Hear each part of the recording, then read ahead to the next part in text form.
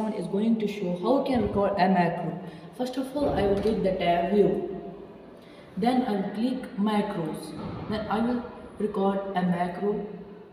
I will, for example, I will write my name, Asrar.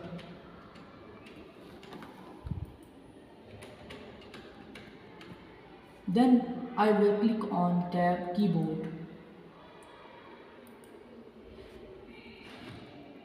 I will make a shortcut key so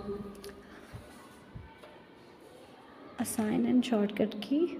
this one. Okay. So I will write something like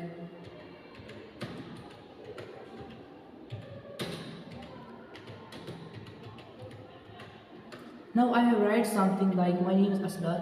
So I will stop recording and I will delete this sentence. Now I have to get that sentence again. So I will click R plus W. So so this sentence comes again. With the help of macro because we have recorded it in the macro. Macro. Very good. Thank you, Asrar. Thank you, ma'am.